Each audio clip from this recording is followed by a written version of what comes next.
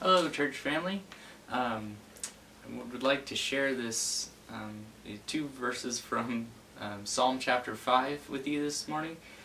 Um, they're verses 11 and 12, and they say, But let all who take refuge in you be glad, let them ever sing for joy, and may you shelter in them, or shelter them, and may those who love your name or that those who love your name may exult in you. For it is you who blesses the righteous man, O Lord. You surround him with favor as with a shield.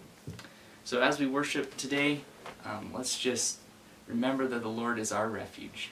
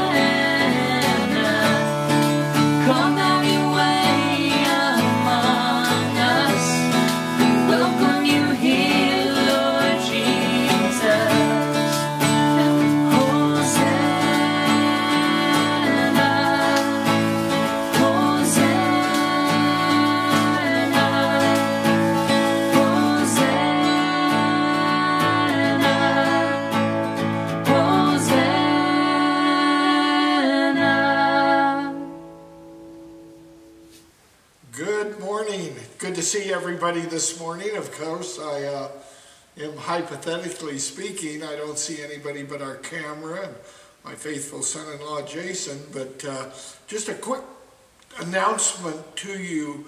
Uh, wanted to bring you up to date on when church is going to start. I would ask you to pray. We're working together with some of the other churches to uh, start together, and we want to do what God would call us to do. So, uh, my prayer request for you is that you would pray that we'd be able to start services very soon. Uh, if we do, probably the first one would be an outside service. I want to encourage you. I spoke on this on Wednesday's uh, devotional, so you might go to the Wednesday study there on our web page. So encourage you to reach out to someone as well to be praying for somebody uh, within the body and just uh, kind of communicate the love of Jesus to other people.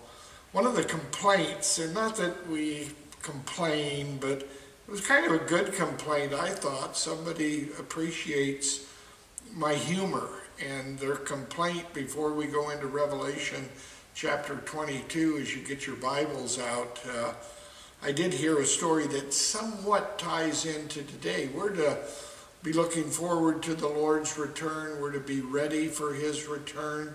We're to be ready to go to heaven. But I heard this and I thought I would share it with you, and it's not really that good. It's kind of a tough situation, but the story goes the lady was talking to her friend and said, What do you want to do for the future? And she said, Well, I want to get married four times.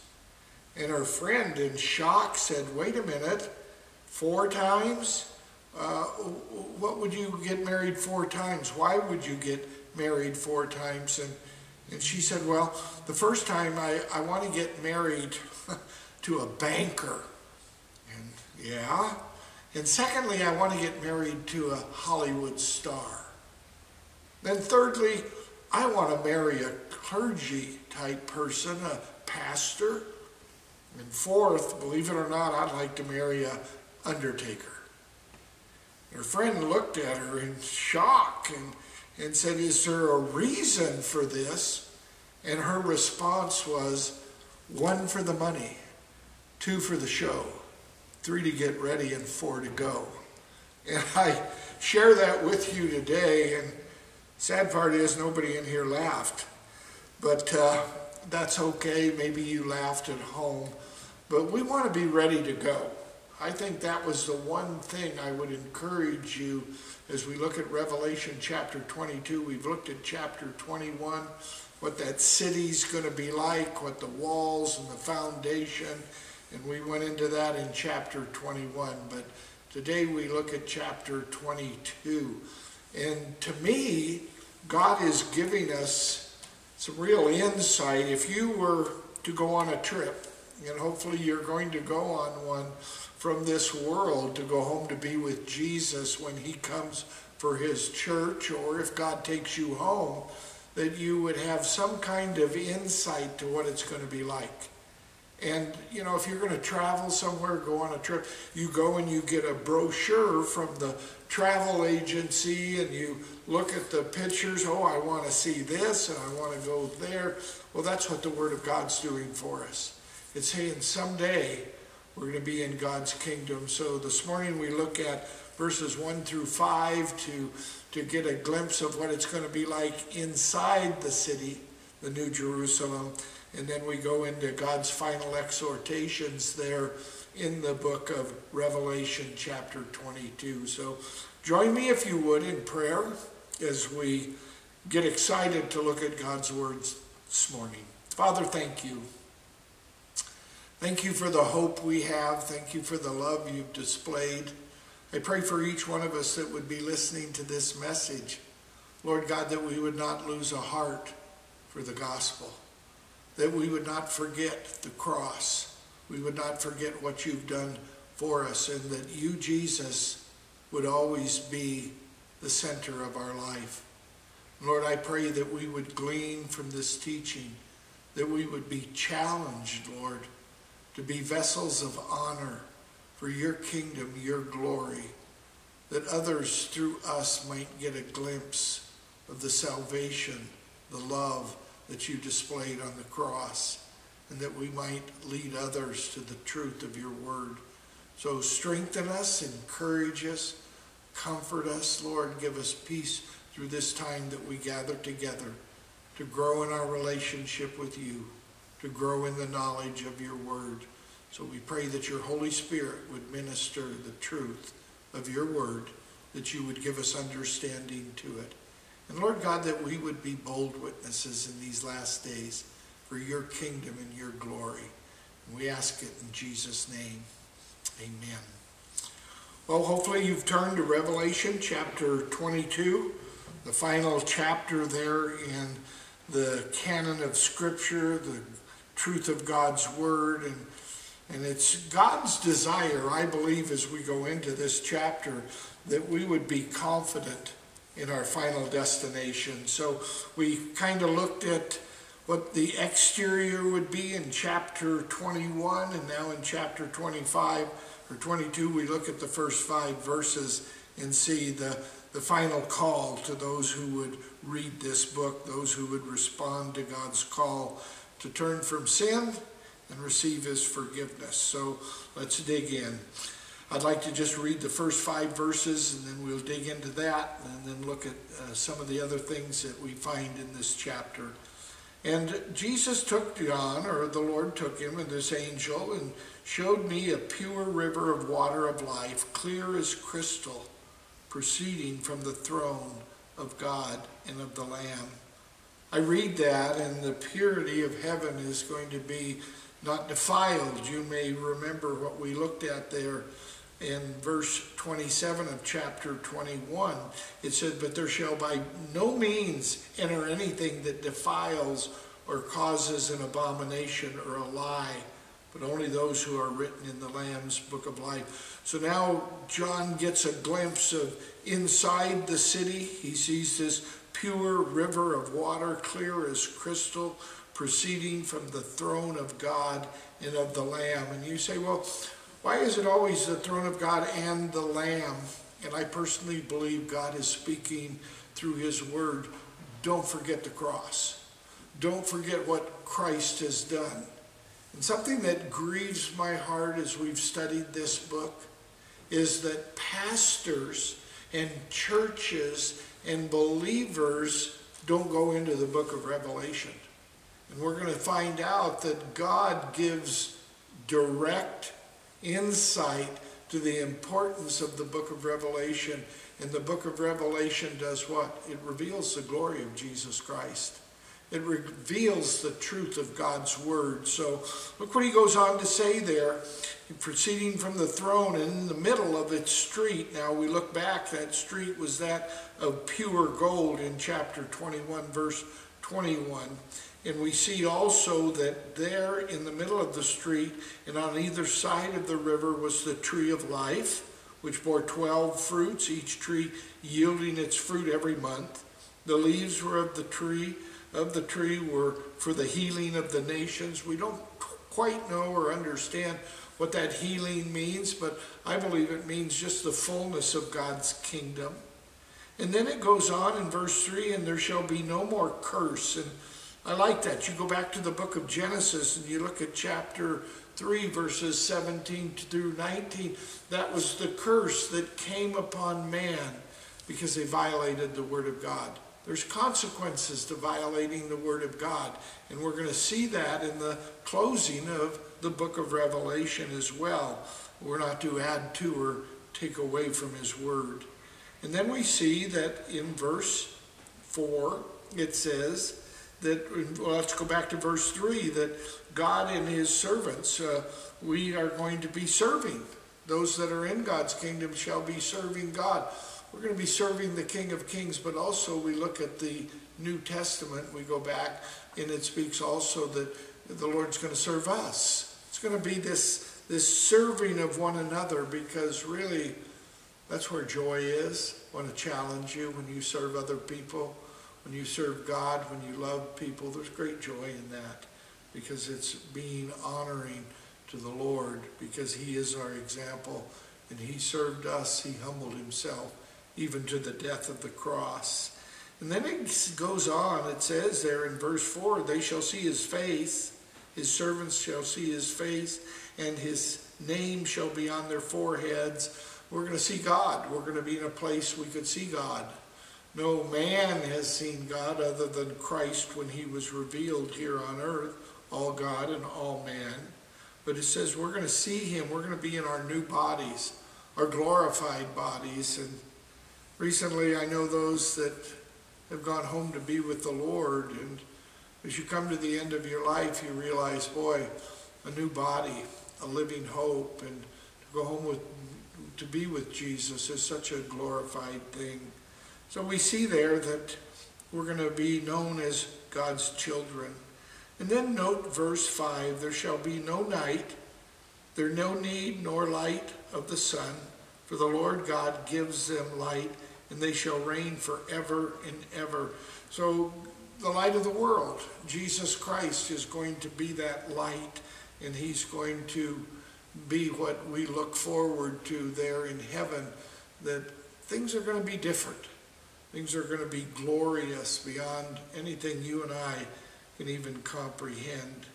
Verse 6 Then he said to me, These words are faithful and true.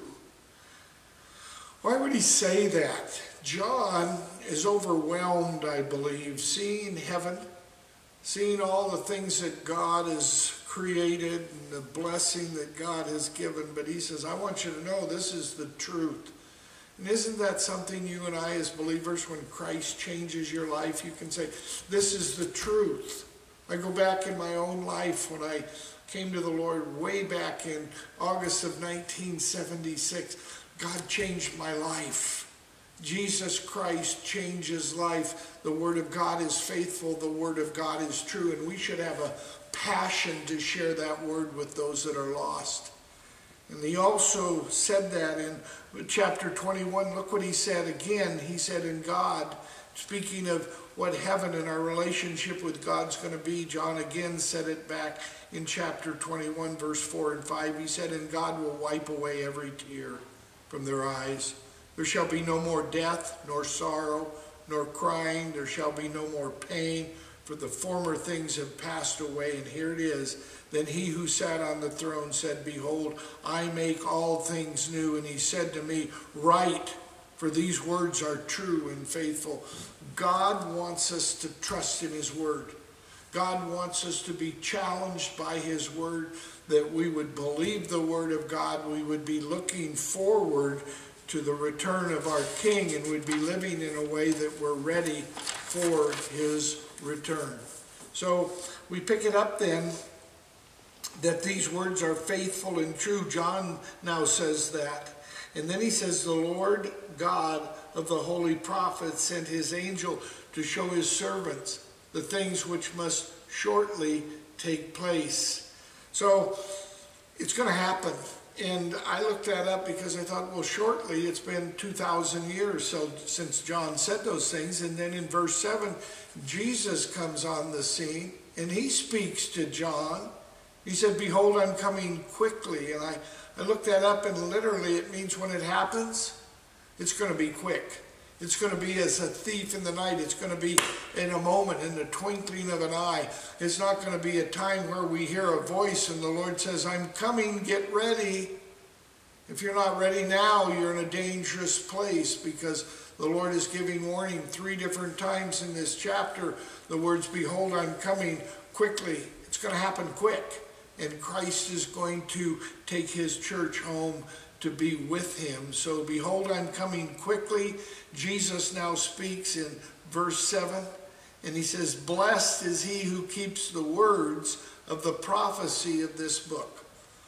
Something's going to happen here in this chapter that I really want to bring note to. There are those who avoid the book of Revelation. There's those who avoid the whole counsel of God. There's those who are not obedient to the Word of God and not teaching this book. And because it's very clear in chapter 1, verse 3, the Lord says there's a blessing for those who read, hear, and obey the words of this book, of this prophecy. And then we see here God reiterating that in His Word. He's saying, Blessed is he who keeps the words of the prophecy of this book. You want to get a blessing? Stay in the Word of God. Read the book of Revelation. Allow the revelation, the glory of Jesus Christ to be part of your life. This book is all about the King of Kings, the Lord of Lords, coming for His church, coming in his glory in the warning to the seven churches there historically, but also that warning to you and I. We need to be ready. We need to be looking. We need to be watching. We need to be praying. And God, in His grace in this chapter, does so many things. He warns us. He says, I'm coming. It's going to happen quick. When it happens, it's going to be just, and it's over. We'll be with the Lord Jesus Christ. We don't know the day nor the hour. We know the season. I believe, according to the Word of God, it's very clear we're living in that season today. So look what he goes on. John says, Now I, John, saw and heard these things. And when I heard and saw, I fell down to worship before the feet of the angel who showed me these things. Now, we're not to worship anything other than the Lord. You may remember back in Matthew chapter 4 verses 8 to 10, when Christ went through the temptation, when Satan tempted him, Jesus quoted scripture and he said, You're to worship the Lord. In him only shall you serve. The reality of it is, worship is something that is given to the Lord. And John, probably just overwhelmed, fell down. But look what the angel responded. The angel in verse 9 said, then he said to me, John says that, he said, See that you do not do that, for I'm your fellow servant and of your brethren the prophets and of those who keep the words of this book. And then he said, What? Worship God. There's a lot of men today that are in pulpits that desire the worship of the people, the adoration and the praise of the people. In fact, there's many denominations that actually the leaders strive to have the titles of reverend and most reverend and most very reverend and all of these man-given titles. I love the teaching I received from Pastor Chuck, and I reference that often because it was good, sound doctrine. There's none reverend, no, not one, only the Lord Jesus Christ. And here the Word of God tells us, worship Him. We're to be in that place that we worship God and seek His counsel through His Word. So in verse 10 it says, And He said to me, Do not seal the words of the prophecy of this book, for the time is at hand. Many people, I believe, miss that verse. What does it say? Different from the book of Daniel, that the prophecy of this book was to be sealed. No, it says in Revelation chapter 22, we just read it, it says, worship God, but do not seal, do not seal, verse 10, the words of the prophecy of this book, for the time is at hand. What's God saying? I want the book of Revelation read to the church. I want the book of Revelation taught to the church. And as it begins with blessing to those who read it, those who hear it, those who apply it or obey it in their life, there's great blessing. And now God again says, hey, don't, don't limit my word. In fact, he's even going to go to the point at the end of chapter 22. He says, don't add to or take away from my word. Paul said that. Paul in the book of Acts said those words. He said, listen, I've not failed. I've not held back. I've taught you the whole counsel of God's word. And I think that's that's so important to us. So we're not to seal the words of the prophecy of this book, for the time is at hand. And I, I think, wow, look at what's happening today. Who would have thought something would happen where churches would be closed? Who would have thought that over the world, all over the world, this pandemic would take place? And I believe, as many other pastors, I believe this is a wake-up call for the church. I believe God is pouring out His grace, and I see the grace of God in this final chapter. Anybody that maybe just reads the final chapter of Revelation, they see so many things that God's serious about His Word. God's serious about Jesus Christ being the one who's lifted up and worshiped. God's serious that we would not add to or take away from his book. The church today needs to stay true to the Word of God. We need to be men of God, women of God that share the Word of God with others. And he's even going to close with that gospel that he who's thirsty, let him come. But look what he goes on to say in verse 11.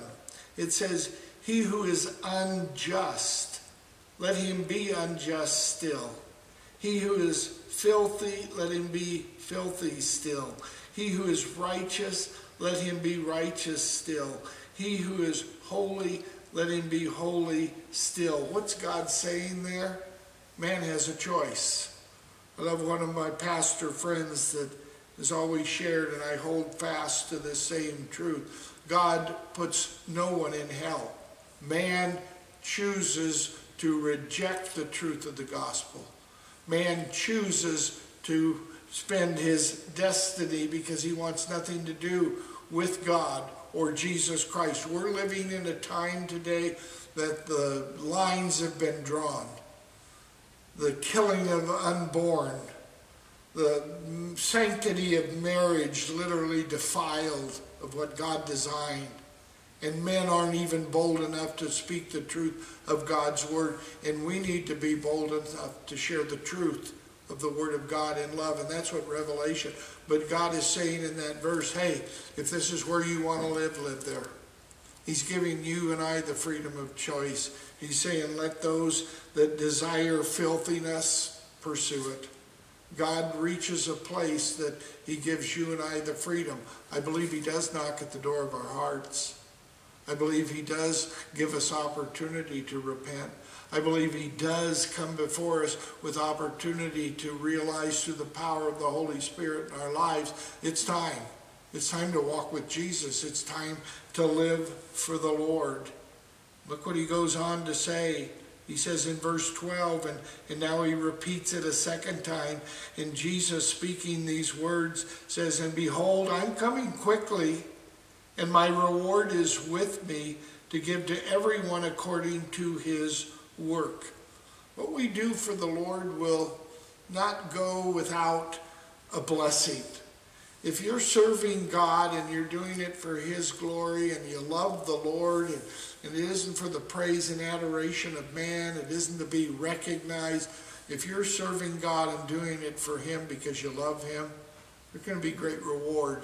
I don't know what that reward could be, but God will be reward. He's a rewarder of those who diligently seek Him.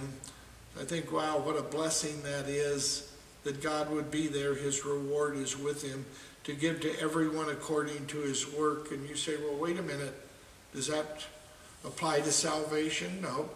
Salvation solely by the grace of God. It's the gift that God gives to his creation. But you got to put your trust in Christ.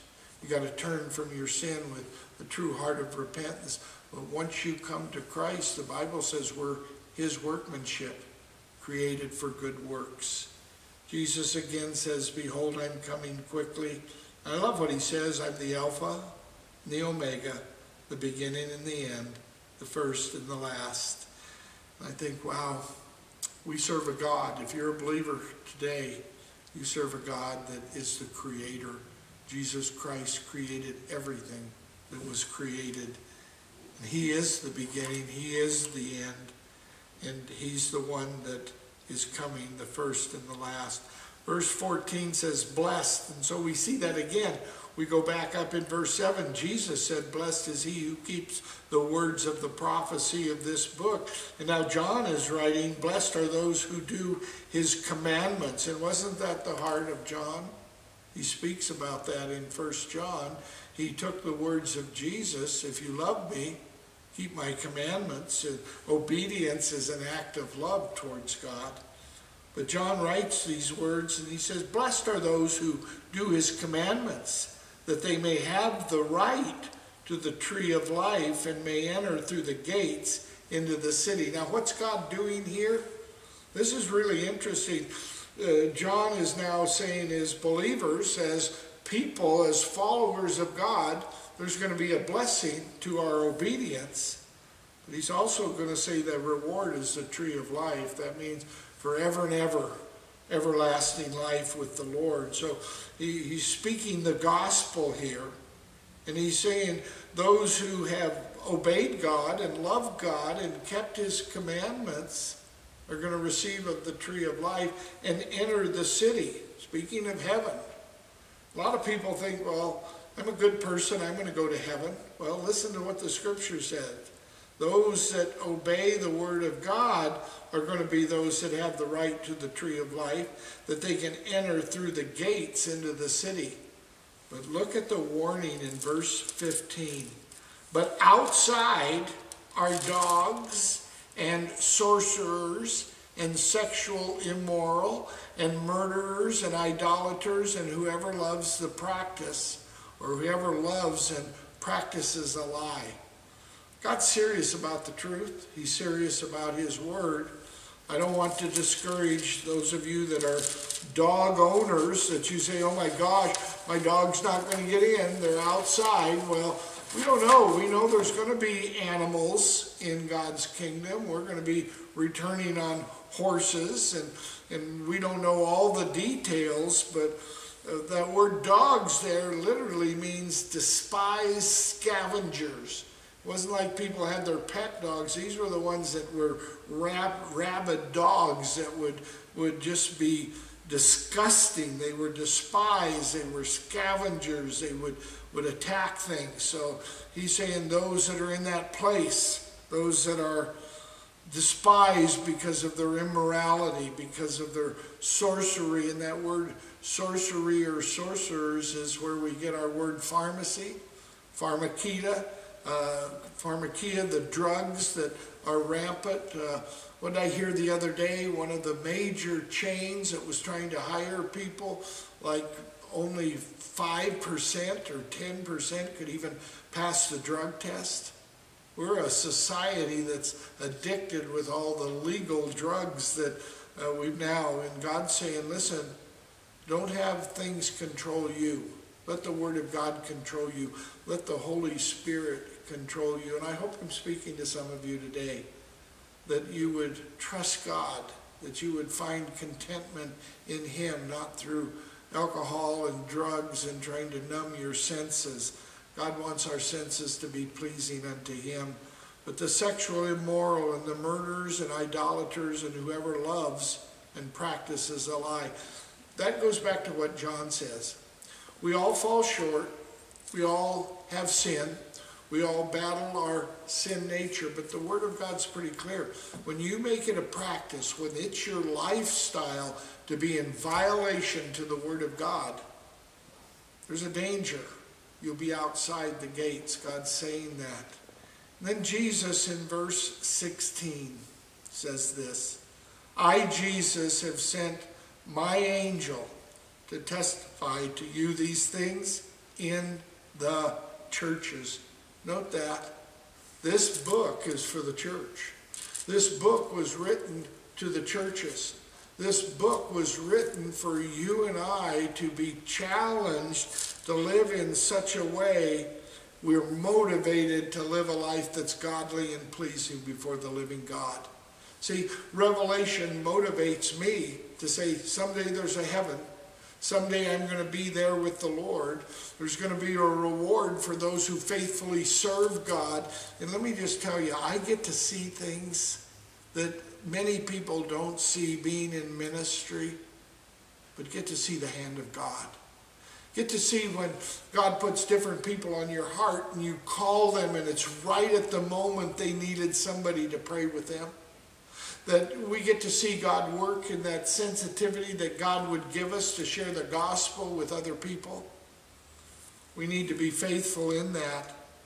I shared on Wednesday's teaching, I shared God wants us to have input through the Word of God, through the Holy Spirit, that we would be used by God serving God, that we'd also have that outflow, that God would bless us with His joy and His peace. But Jesus said, I've sent my angel to testify to you these things. The book of Revelation are to be things that are taught to the church, that we're to live in that expectancy. Jesus said, I'm coming quickly. What happens today if through this message, through the Word of God, you're challenged in such a way to hear the Word of God that you respond to it?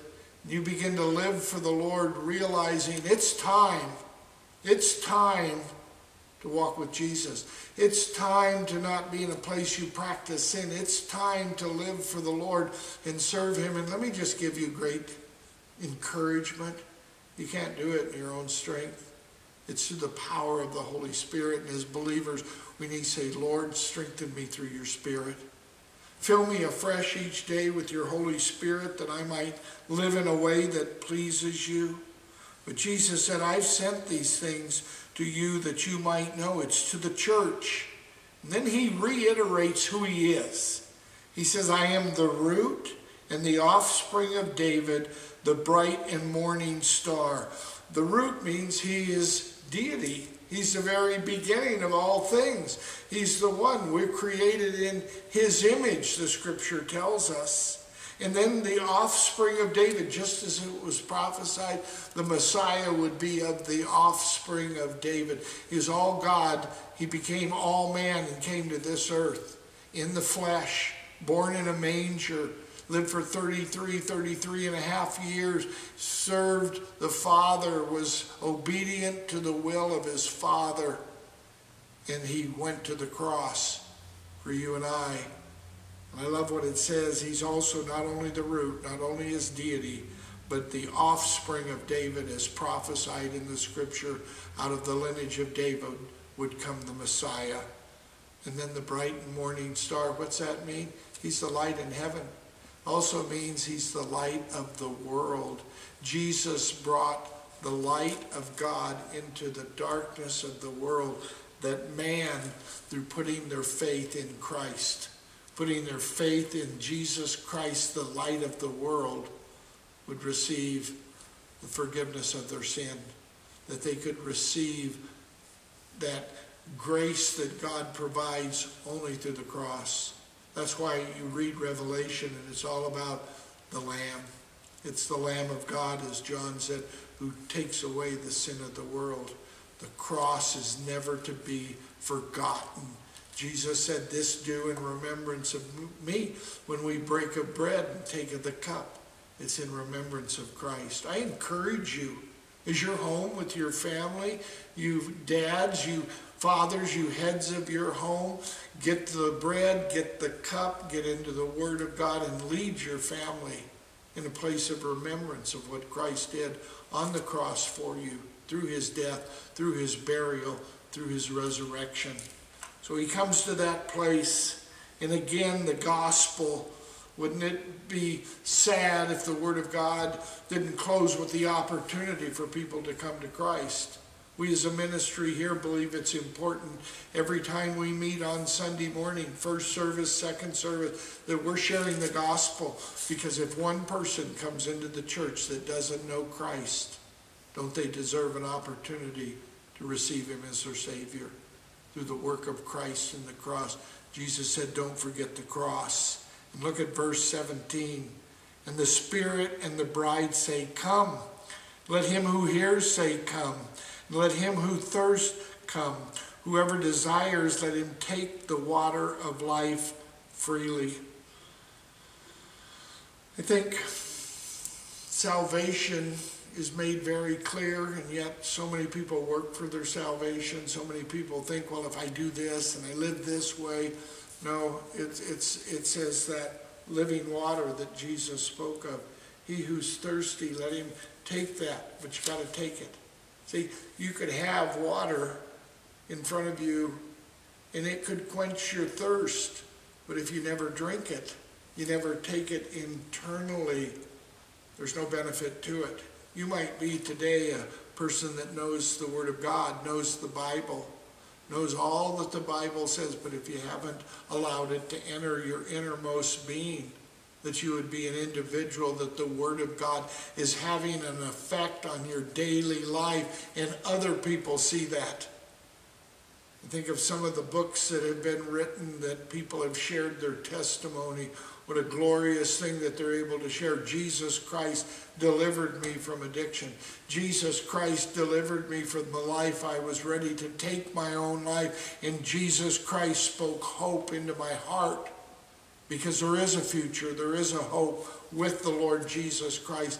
And here's the key if God in His Word is challenging you and I to share the gospel, which Jesus gave the Great Commission, and now we see it, it says, let the church, the Spirit, the bride, we're the bride of Christ. We're to be telling people, come. Through the power of the Spirit, come to Christ. He'll fill that emptiness. He'll take a broken heart. He'll heal all of the, the wicked, evil things in your past, and He will forgive you. We as the church need to share that message. That's what the Bible saying in verse 17. And the Spirit and the bride say, Come. Let him who hears say, Come. That's you and I. And let him who thirsts come. Whoever desires, let him take the water of life freely. I think about the challenge that God would give you and I, that we have the Word of God. The question is, are we sharing the urgency of the return of Christ, that Jesus is coming? And then the Lord shares the importance. And I see the church today thinking they've got to come up with something better than God's Word. I see in many cases the Word of God is no longer the priority of the church. And yet God says, I want my Word to go forth. I want my Word and the truth of my Word to go forth from Genesis to Revelation. And we are challenged to be obedient to the Word of God. And the church today, in many cases, is left the purpose of the church. The purpose of the church is to share the good news.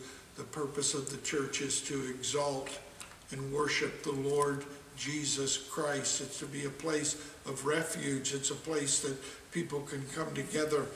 People have asked me, what do you miss about most at the church? I'll tell you what I miss most is you, the people, the fellowship, the love that is displayed in this building as we learn the Word of God and we go out and I hear how God through His Word is touching your life and other people's lives? Don't we want to see revival? I do.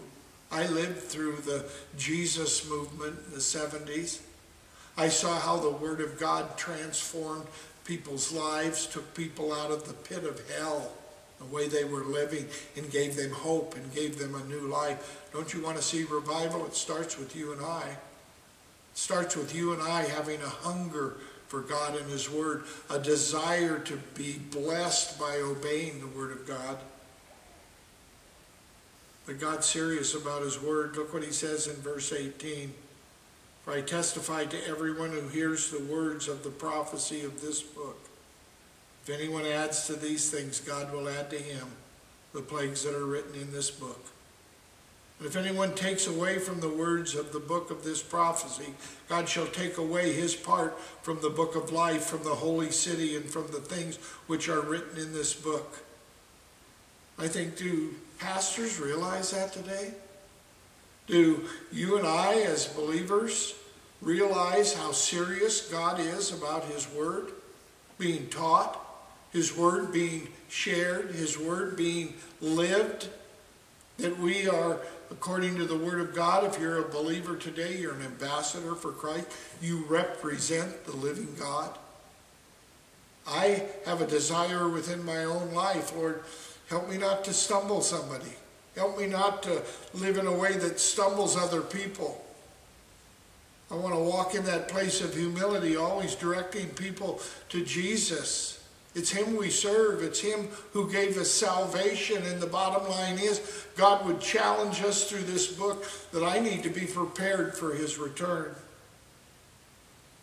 Peter speaks of that. Peter challenges us in a great way there at the very end of, of 2 Peter chapter 2. He says these words. He speaks of the coming of the Lord. He wants us, God wants us ready for His return. Jesus there in the Olivet Discourse spoke the same things that we would be ready for his return. But listen to what Peter wrote. This is found, I'm sorry, 2 Peter chapter 3, verse 9. It says, The Lord's not slack concerning his promise, as some count slackness, but is long suffering towards us, not willing that any should perish, but all should come to repentance. But here's the warning But the day of the Lord will come as a thief in the night. Behold, Jesus said, I'm coming quickly. It's going to happen quick in which the heavens will pass away with a great noise, and the elements will melt with fervent heat. Both the earth and the works that are in it will be burned up. Therefore, since all these things will be dissolved, what manner of persons ought you to be in holy conduct and godliness, looking for and hastening the coming of the day of God, because of which the heavens will be dissolved, being on fire, and the elements will melt with fervent heat? Nevertheless, we, this is it, we, according to his promise, look for new heavens and a new earth in which righteousness dwells. Then the Holy Spirit, as Peter writes, therefore, beloved, looking forward to these things, be diligent to be found by him in peace, without spot and blemish being blameless before God and consider that the long suffering of our Lord is salvation. Paul's saying, listen, God's delayed his coming, and maybe that's for you today. Maybe that's for you hearing this message that Jesus is coming. And I believe it's a season of his grace. I believe we see death rampant. We see all of this going on.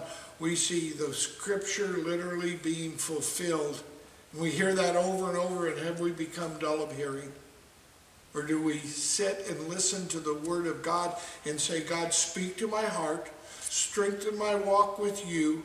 Lord, help me to be a bold witness for your kingdom in the words that I say and the life that I live, that others might see Christ in me, that I might do what's right, that I might live in a way that I display compassion to those that are lost we got to have the outflow in our life. We got to be people that share our faith. We got to realize that we're to be those that share the truth of God's word. God will change the heart.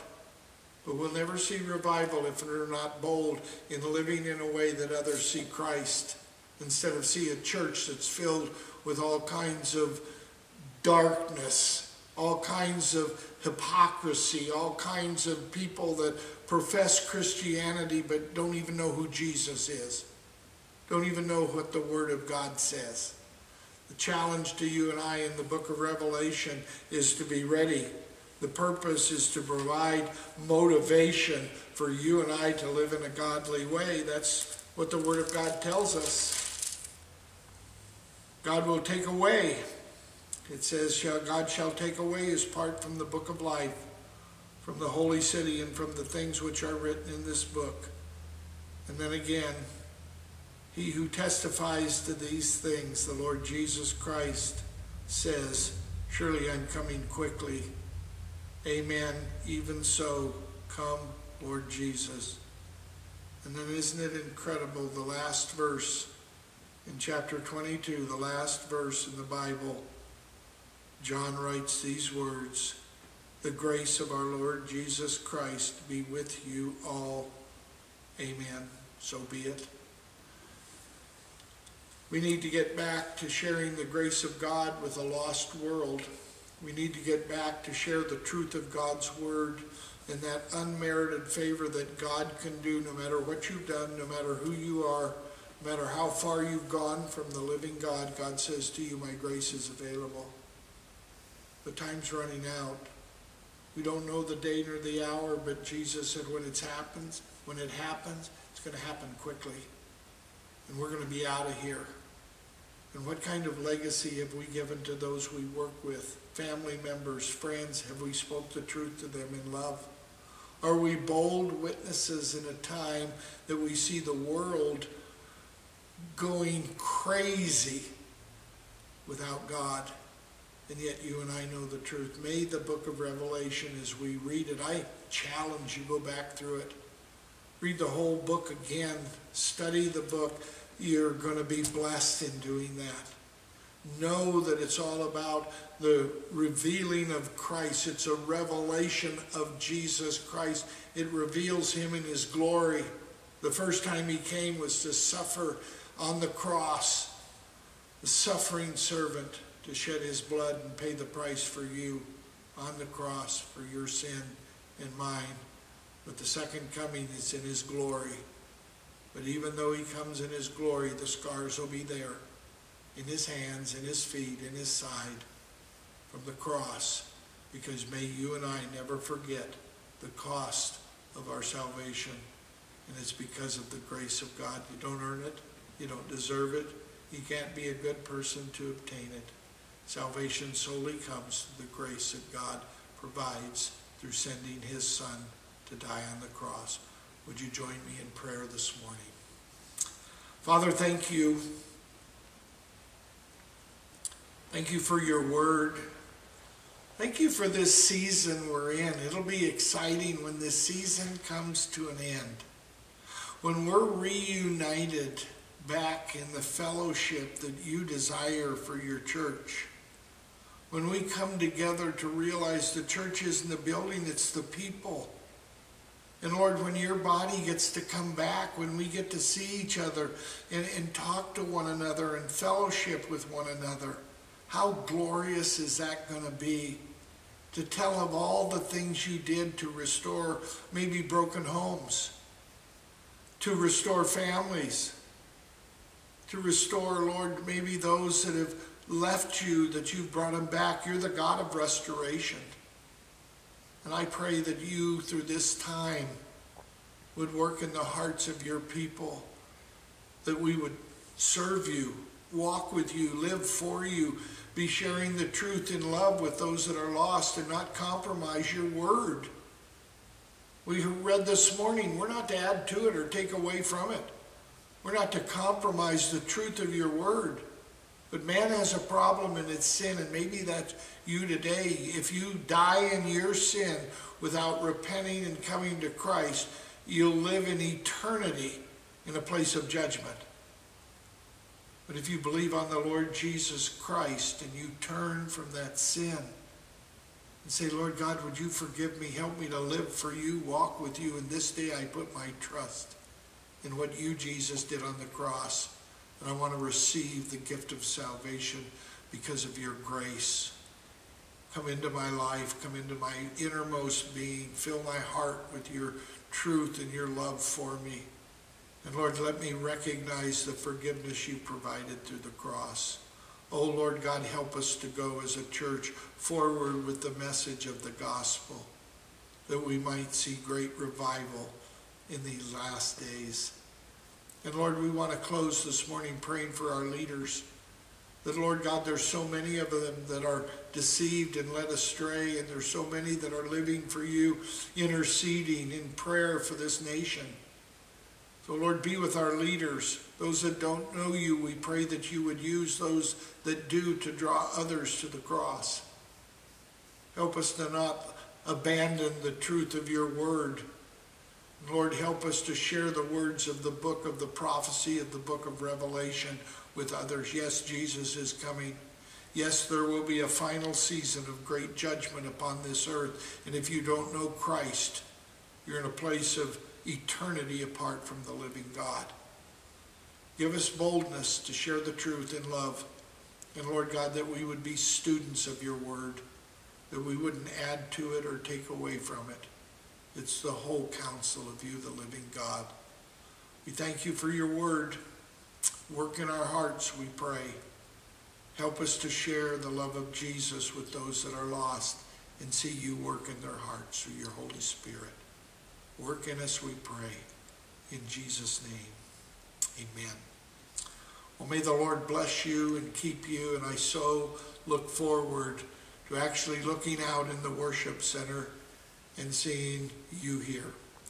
May we reach out to others, pray for others, pick up the phone, call somebody, reach out and pray with somebody, and be blessed to be a vessel that would serve God in these last days. God bless you.